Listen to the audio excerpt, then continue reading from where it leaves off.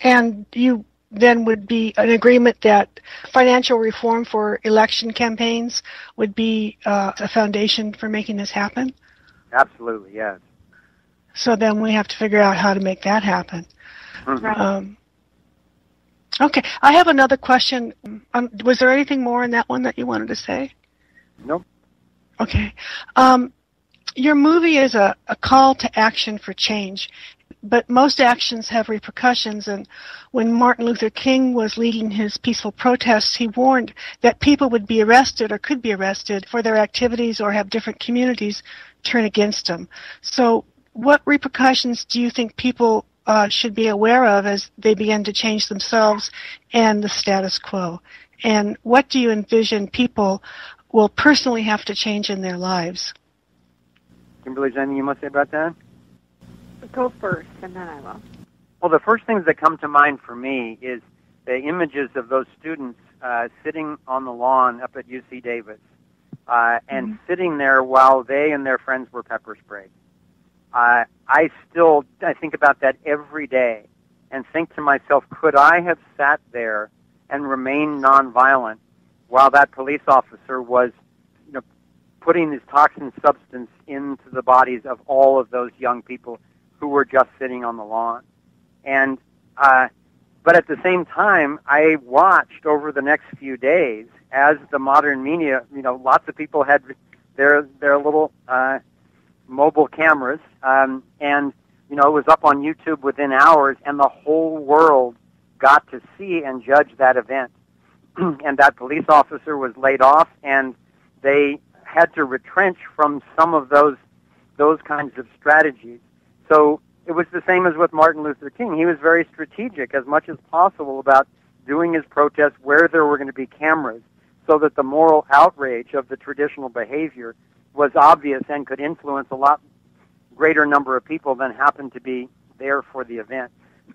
so that's one of the things that I would observe in terms of what people are going to need to face. You know, and when when the Egyptian students needed to take to the streets again, once they realized that leaving the military in power didn't get them the kind of freedoms they were looking for, I think there were something like 37 people killed. You know, it, it's a it's a very serious and dangerous game, even violent, nonviolent uh, protesting. So that's one whole area where I just can't express enough of my admiration of the courage of these people who are taking the streets to get other people's attention on the issues. And then the second thing I would say is that on a much more personal level, David Icke talks in the film about the importance of each person recognizing the challenge of stepping outside of their own, what he calls the hassle-free zone. When you start talking about um, a conspiracy, when you start talking about free energy or UFOs, when you even start talking bluntly about liberty, it can be very challenging with your own spouse, you know, with your other family members, with the people at work.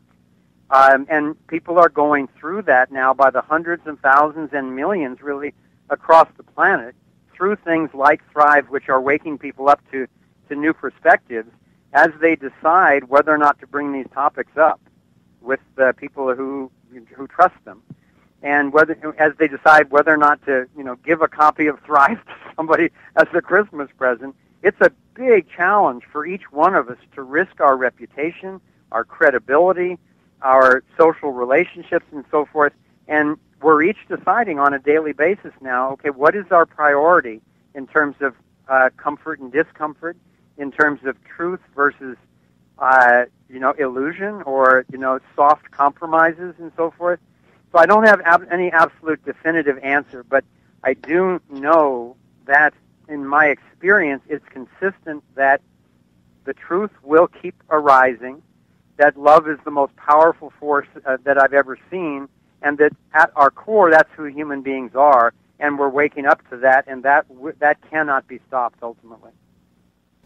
Yeah, I guess one little thing I want to add to that is that I really think it's important for each of us to know what is true for us. Like for me, I know speaking up, you know, and um, being one who's been willing to bring up the uncomfortable uh, conversations and and be bold in my opinions and outspoken and all of that. Like that's never, well, it's certainly never been comfortable for me. I don't think it's comfortable for most people, and yet uh, for me, it's been really important to realize the discomfort of not speaking up and or the discomfort of not taking action whatever it is whatever part there is whether you're someone who's going to go be on the streets or you know make a film or whatever your your own particular part to play in this is i think that it ultimately just brings us face to face with ourselves and i know for me it's been a matter of recognizing how much pain and turmoil there is going on all the time right now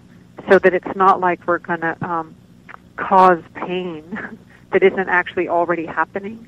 It's already a complete mess. So when people want to know, well, what about this or that? It's like we're already in a in a horrible state for most people on the planet. And then the other part is for me, I know for both um, Foster and I, we've thought a lot about like just how well do we sleep at night. That's the bottom line, and that has to do with come terms with your own sense of integrity and what's called for, and who do you want to be uh, who, do, who do you want to show up as? A number of people have said to us, "Why in the world are you taking all these risks? You know, you guys could just be retired on a beach in Tahiti sipping mai tais or something like that." And for us, it's not even a question. The notion of our children and grandchildren and our loved ones and our our species going forward on this gorgeous planet in some sort of oppressive police state. If there's something that we can do about that, that, doing something about that with its inherent risks is so much more of a draw than cowering in fear somewhere, just taking care of ourselves for a few years while knowing that other people are becoming more and more vulnerable. Neither of us would be able to sleep uh, at night or live with ourselves were we to choose that option. So we were blessed to have the the privilege of some time and some resources to follow these questions you know, create a, a coherent representation of what we found and then offer it out to other people to try to save them some time. Well, I can see that you're leading with compassion, and, and that's really given you the courage to do everything that you've done. And I, I'm sure many, many, many people really appreciate that. But I'm wondering if you've been received any threats or any what repercussions have you had that you would be willing to talk about? Well, I'm thrilled to say that we haven't had a single, uh, really, we haven't had a single threat. We haven't had anything that I would call hate mail. You know, with there are plenty of debunkers, you know, who try to to undermine our reputation, but no uh, hate mail or threats uh, at all. I can't guarantee that will continue, but uh, we also tried to be as strategic as we could with our communication and stay completely under the radar until our message was ready to be delivered to the world. And now, as Kimberly said, that toothpaste is out of the tube. And if somebody tries to hassle us at this point, you know, we we now have you know a network of of um, over a million people around the world who are in, very much in support of what we do, and we're in, we're connected with them electronically, and you know we've got we've taken precautions of having all sorts of backup servers and so forth. So uh, it would only validate what we're saying if they were to try to somehow actually harm us at this point. So uh, we we, we can't don't need that validation. I think we're validated. yeah, we, we, we can't guarantee any, anything in the future, but uh, it's certainly operating in alignment with our own integrity and with what we perceive to be natural principles is, is really the only choice for us at this point. In fact, let me tell one real quick story that, that there's a a guy that uh, whose work I followed for a while who has interviewed a number of uh, so-called refugees from the Illuminati, and these are anonymous interviews, but you, you can tell that they're very uh, knowledgeable uh, about what's going on on the inside. And, and again and again, these these uh, people, when they tell their stories, they talk about how the, the would-be controllers sit around and they've got so much under their control with the media and the money and education and food and all that kind of stuff, but they can't seem to get it all wrapped up. And they keep referring to what they call the X factor, which is no matter how hard they try, no matter how much force or money or deception they use, the X factor keeps popping through, and they're not sure what it is. and but if you hear their descriptions of it, it's really love and truth. You know, it's the life force expressing itself. And that's one of the things that gives me confidence because I know that the people perpetrating this agenda are in great pain and they're they're not aligned with the life force. I know from my experience as a martial artist and particularly in Aikido that that, that the true power, the unlimited power comes from aligning your body, your breath, your emotions, your thinking and, and your actions with the life force, not trying to control or suppress it. I want to say one thing about um, our our strategy with this also, which was really the most dangerous time for us was in the making of the movie, um, because we specifically chose a release strategy that would. We, we used to call it getting the toothpaste out of the tube, as we've mentioned a few times, because you just can't put toothpaste back in a tube once it's out. And that was our idea, was to get this thing out globally fast. So as soon as it was out on the internet, we knew that we were safer then than we had ever been, really, because it was to shut us down before we had the base of people understanding what we were doing. So I think I know actually I felt a tremendous release on 1111 that I hadn't even known I was carrying until it was released.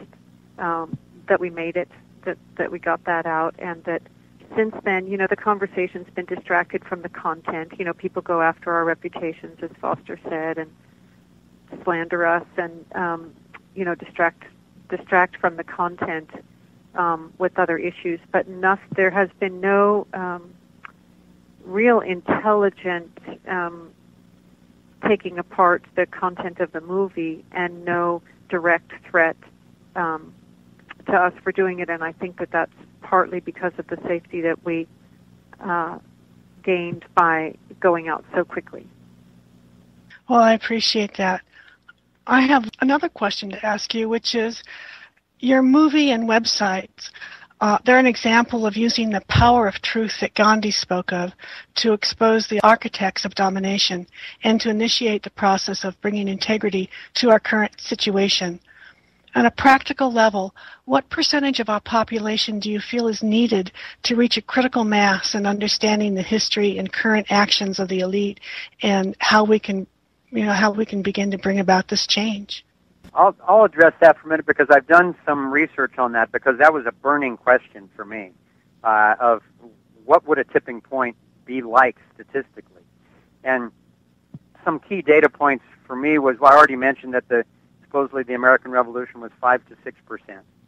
Uh, Ken Wilber, whose work I respect a lot, says that it takes 10 percent, around 10 percent, of a population adopting a, a, a new, more advanced worldview to actually shift the paradigm. And then uh, a friend of ours, Paul Ray, uh, who has been the main researcher behind the the statistics around the spread of cultural creatives uh, and that paradigm around the world, uh, in his recent studies, the, the number of cultural creatives, and for those who are not familiar with that term, it means basically people who are willing to shape their lifestyle around things like social justice uh, and environmental sustainability. Uh, the, the, the numbers of those people in uh, Europe, Japan, and the United States is now in all three areas up around 35%. So combining all of that with the the as long as we can keep the internet open and how fast people are getting uh, educated and organized and, and active, um, I think we're very close to a tipping point. Wow. Well, thank you very much.